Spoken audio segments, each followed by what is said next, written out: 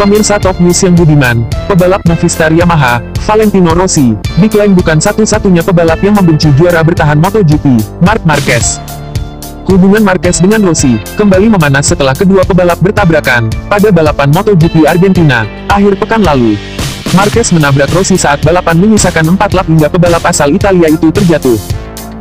Insiden di MotoGP Argentina membangkitkan kembali perseteruan antara Rossi dengan Marquez, yang sebelumnya terjadi di penghujung MotoGP 2015. Tapi, Rossi bukan satu-satunya pebalap di MotoGP yang membenci Marquez.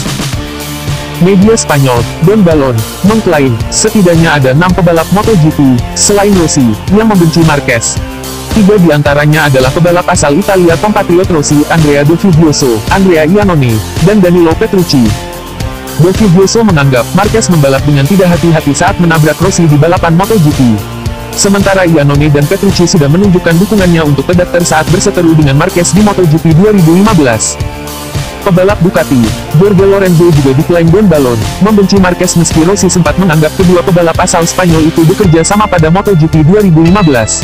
Lorenzo sudah benci dengan Marquez sejak juara dunia MotoGP empat kali itu promosi ke kelas Premier Grand Prix pada 2013. Lorenzo diklaim sejumlah media, membenci Marquez karena merebut hati fan asal Spanyol. Marquez juga merebut predikat pebalap nomor satu Spanyol dari tangan Lorenzo. Pebalap kelima yang membenci Marquez adalah Cal Crutchlow. Pebalap LCR Honda itu dikabarkan benci dengan Marquez karena mencegah kepindahannya ke Repsol Honda untuk menggantikan Dani Pedrosa. Pebalap terakhir yang membenci Marquez adalah pebalap Tech 3, Yamaha, Johan Zarco. Pebalap asal Perancis itu mengidolakan Rossi sejak kecil dan berambisi menggantikan pebalap 39 tahun itu di tim Movistar Yamaha. Ya, namanya media, ini kan asumsi media, berdasarkan berita-berita yang ada. Faktanya belum tentu benci, kalau musuh di balapan mungkin iya, tapi benci belum tentu.